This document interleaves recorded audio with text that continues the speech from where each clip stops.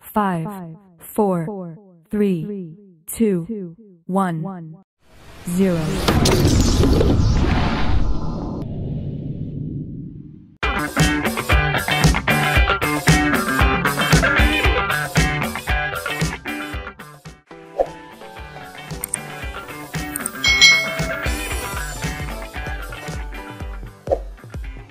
Halo adik-adik semuanya, selamat datang di channel YouTube Kak Citra.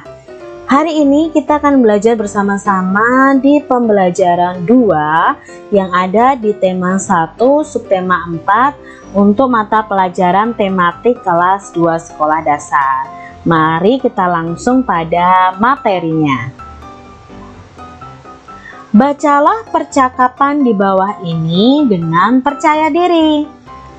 Guru akan menentukan siapa yang menjadi Udin, Badu, dan Edo. Nah, di sini kalau kalian nanti di sekolah disuruh menjadi Udin, Badu, dan Edo, kalian harus membaca percakapannya dengan penuh percaya diri adik-adik. Nah, di sini ada percakapan Udin, Badu, dan Edo.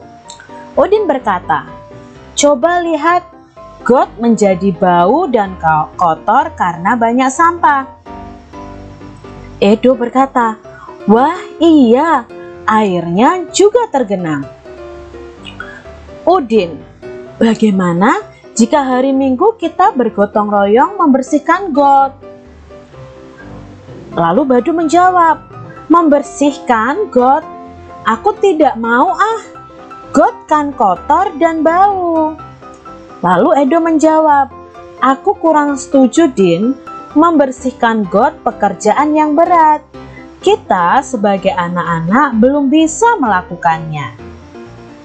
Lalu Badu menjawab, Betul Din, sudah biarkan saja. Udin lalu berkata, Tapi got yang tersumbat dapat menyebabkan banjir. Sampah akan menyumbat aliran air sehingga akan meluap ke jalan. Lalu Edo memberi usul, bagaimana jika kita mengusulkan kepada Pak RT untuk mengajak seluruh warga bergotong royong? Kita bisa ikut membantu pekerjaan ringan, misalnya membuang sampah yang dikumpulkan. Itu usul si Edo adik-adik. Lalu Udin menjawab, aku setuju do. Badu ikut menjawab, aku juga setuju jika demikian aku juga bersalah karena membuang sampah ke dalam got.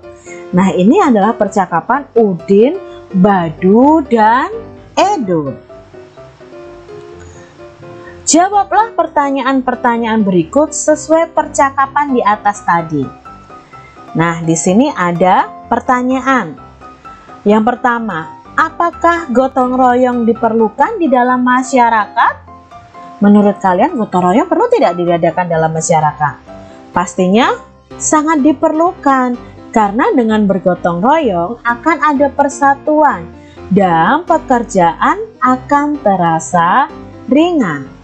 Pertanyaan yang kedua, apakah terdapat kalimat penolakan pada teks percakapan di atas? Ada ya adik-adik ya. Yang ketiga, tuliskan kalimat yang menunjukkan penolakan. Coba adik-adik sebutkan mana yang menunjukkan kalimat penolakan. Ini tadi si Badu berkata, membersihkan got. Aku tidak mau ah. Nah, di sini dia menolak, ya. Lalu ada perkataannya si Edo.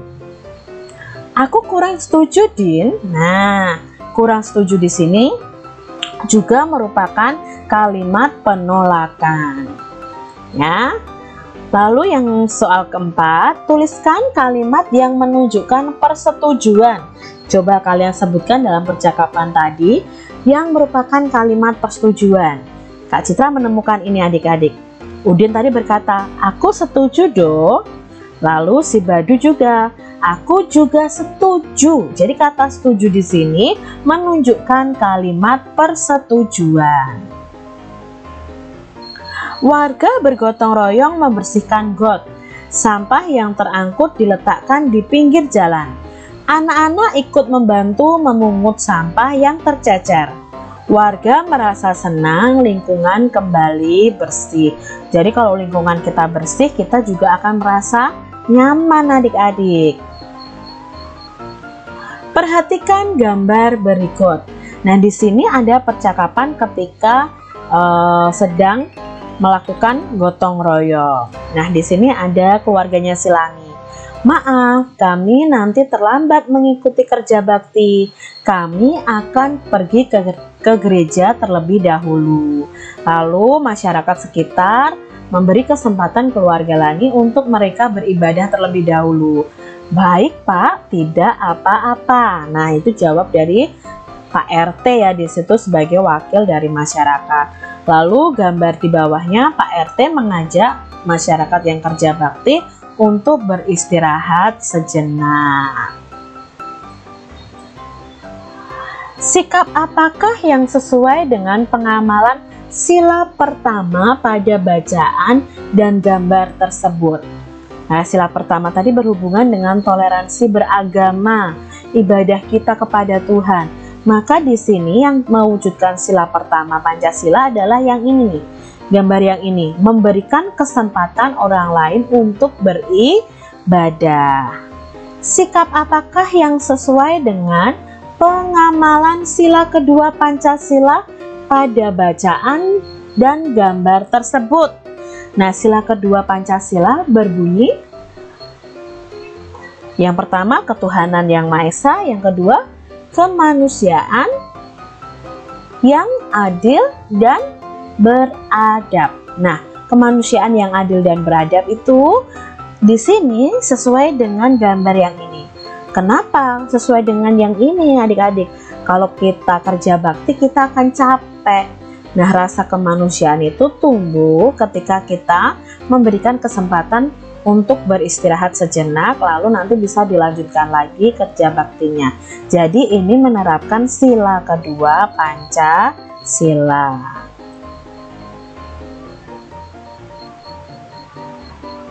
Nah, di sini kita masih ingat bahwa kelima Pancasila ini ya, sila-sila Pancasila ini memiliki lambang dan bunyi yang berbeda-beda. Kita sudah belajar tentang sila pertama dan sila kedua yang bisa kita lakukan di masyarakat.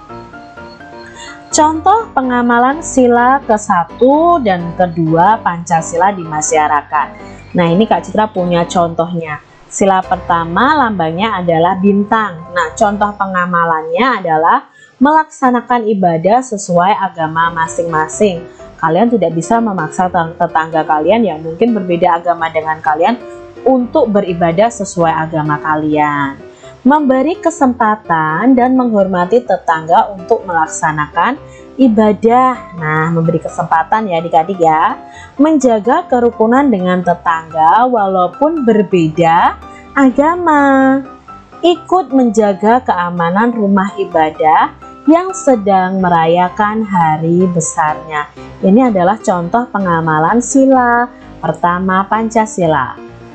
Sila kedua, pengamalan sila kedua Pancasila di masyarakat contohnya adalah menyapa tetangga saat berpapasan memberi bantuan kepada orang yang membutuhkan bantuan, menolong sesama, menjenguk tetangga yang sakit itu adalah rasa kemanusiaan. Jadi sesuai dengan sila kedua Pancasila. Lingkungan rumah Udin sudah bersih kembali. Anak-anak pun dapat bermain dengan nyaman. Lakukan gerakan-gerakan di bawah ini dengan percaya diri. Nah, setelah mereka kerja bakti, anak-anak lakukan kegiatan ini nih. Ini kegiatan apa ya, Kak? Nah, yang pertama itu adalah melompat dengan satu kaki. Coba nanti kalian bisa praktekkan ya.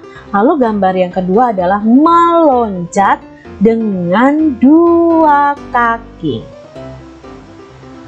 Apa perbedaan melompat dan meloncat? Nah, ada bedanya nih adik-adik. Menurut Kamus Besar Bahasa Indonesia atau disingkat KBBI, lompat atau melompat adalah melakukan gerakan dengan mengangkat kaki ke depan dan dengan cepat menurunkannya lagi. Sedangkan meloncat adalah gerakan melompat yang dilakukan dengan kedua atau keempat kaki secara bersama-sama seperti katak dan kelinci. Jadi ini perbedaan antara melompat dan meloncat. Nah, di sini untuk kegiatan melompat dan meloncat bisa kita lakukan dalam permainan engklek atau permainan tapak gunung. Apakah kalian tahu permainan ini? Apakah kalian pernah memainkan permainan ini? Coba kalian mainkan bersama dengan teman-teman kalian. Nah, begitu adik-adik video pembelajaran di tema 1 subtema 4 pembelajaran yang kedua. Semoga video ini bermanfaat bagi kalian untuk lebih memahami lagi pembelajaran yang ada di sekolah. Sampai jumpa kembali di video pembelajaran Kak Citra selanjutnya. Jangan lupa like dan komen juga, subscribe dan nyalakan loncengnya. Sampai jumpa adik-adik, Tuhan memberkati. Jangan lupa tekan tombol subscribe, lalu tekan loncengnya, tekan juga tombol like, lalu share ke media sosial kalian. Jangan lupa untuk ikuti media sosial Kak Citra. Terima kasih.